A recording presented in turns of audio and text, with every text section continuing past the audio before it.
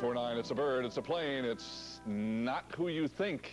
It's Supergirl. That's Superman's cousin, and it's the name of the new movie starring a newcomer, uh, Helen Slater. The National Association of Theater Owners just named her their Star of Tomorrow, and recently I spoke with Helen Slater about herself and about Supergirl. Leave this place and do no harm. There she is again.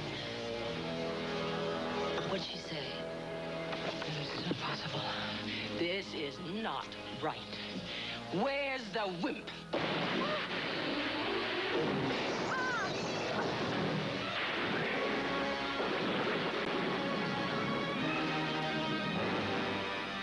What about the flying? Flying. The first time I went up on the wires, you go around 100 feet in the air, you know, the first time. And all, well, we built up, but there's nothing like when you finally get up there. You're there. crazy. Oh, I know, no. Thank God my mother wasn't there, but because she would have said, get down, you know, you're not. Right. But I sang very loud. It was the first, you You know, what? the first time I went water loud? skiing, I sang very loud too. You know, getting up on the water skis. I don't know if you've ever done it, but Yes. And I went up, I sang. Oh, you mean just, oh, you mean emotion just to keep from being sang terrified. just really loudly. Which way, down or up? Oh, I don't know. It's so petrifying. I mean, really, the, the, at the point that you let go of the fear, it's wonderful because what, what you do is you just tell yourself, the worst that can happen is that you'll die. I mean, that really is the worst.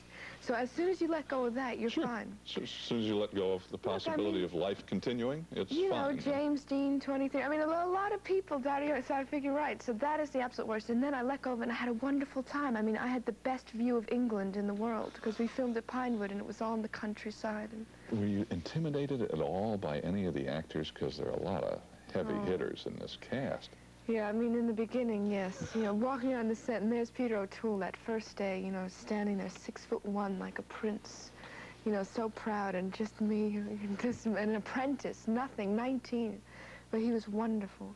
Took Yeah, me I right understand that he was like your teacher, right? You said he was Oh, your teacher. fantastic. What did he do? I mean, he's so, so phenomenal. Well, the first thing he did, which put me immediately at ease, because I'm a musician and love and I write and all that, and just sat me down in a corner, away from everyone in the set, and taught me this song that goes in rounds. And for like an hour and a half, all we did was sing. and we came on the set singing full blast this, you know, this song that he taught me. And I know hundreds of rounds from, from music, and we would just be singing. And now, he was smart, and he knew you know, what he could that's do the for sign you. of a He- great teacher, isn't it? Because right. they, they, they're sensitive to the, to the Isn't that student. fab to work with Peter O'Toole? Oh, I oh, know. yeah. when he, oh. yeah.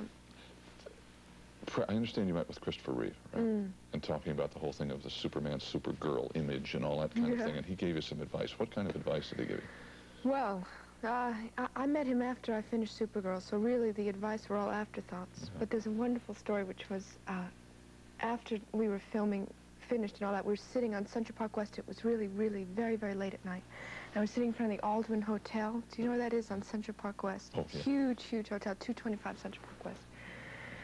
And all of a sudden, we're sitting there just talking about, I don't even remember what we're talking about, but six huge fire trucks come out of nowhere and park dead in front of the Alden.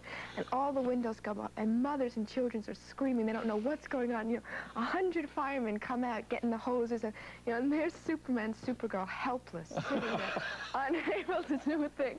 And he turns, he looks, and he says, "Well, I guess it's our night off." I said, "Yeah, I guess it is. what what are we going to do?" Helen, thank you. You know, it's very peculiar to have people wanting to know about yourself.